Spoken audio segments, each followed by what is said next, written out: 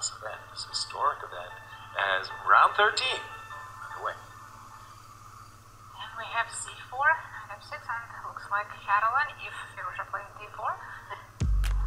d4, b2, b2, no, b2, b3. Uh, b2, b3 has also become, well, I'm not going to say all the rage, uh, but yes, um, b2, b3, as, as well as you said, the Catalan Now this move, knight c3, that's really encouraging d4. I, if I'm black, I, I start to think I should be punishing my opponent for playing move knight c3 and allowing I think a5 is a quite rare move. Like normally you play c5 or b6 in that position after d3. Exactly. I'm more familiar with b6 myself. But okay, um, We C2, already C7, have a C6. new position.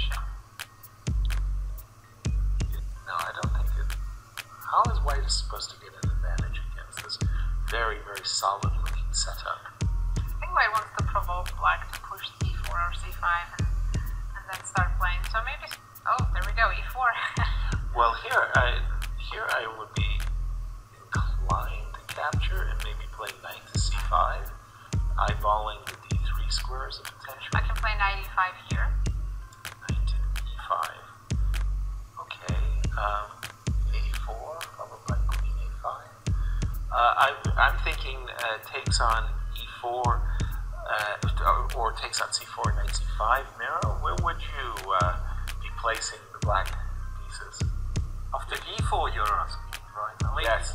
Yeah, it's e3 and substantially better. Wouldn't have guessed that. Bishop, we have bishop e3 on the board. So now, now Fabi has to deal with the pawn on d5. So maybe take Yes. on c4 Okay, take on c4, take on c4. and Why maybe e5. Okay, so take on e4, take on e4, and now e6, e5. Yeah. But then why did we put our knight on h5? Because aren't we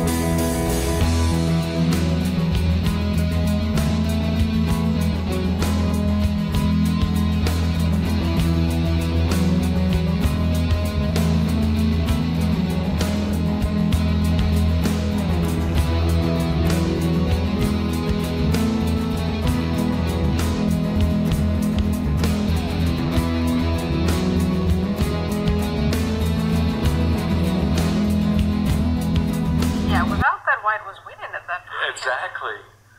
Oh my. So King G1. So what's going on now? Uh, Fabi's just up. Oh, he's not up anything. I thought he was up a pawn. He, he actually ended up losing the pawn, but then winning back on G3. F5 now. Knight F5. Two seconds. How does he do this? Uh, consistently just making a move with one second on his clock. Fabi caught up on time, also down to five seconds. I mean, it looks very nice position for black. F- oh, but there's Knight F5 in position. Which is very tricky. He's going after black's king. He is, but the bishop on G6. Oh, he's setting up a mating net with a pawn on H5 and the knight on F5. And Firouzja is turning the tables with seconds on the clock. Okay. Black managed to get the on the last rank, but still very dangerous. Seriously, can we Four seconds. could have taken that on the Two extra pawns, but very. Just barely uh, holding the position.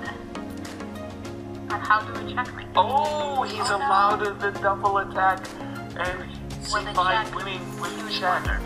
Huge blunder as Bobby fighting for the second place. Another black wins. Five black wins. One Wow. round. And the G6 points as well. And Firouzja, well, come on, that was self-inflicted wound because he had like 30 seconds to three minutes. You can't do that at this level. Bad clock management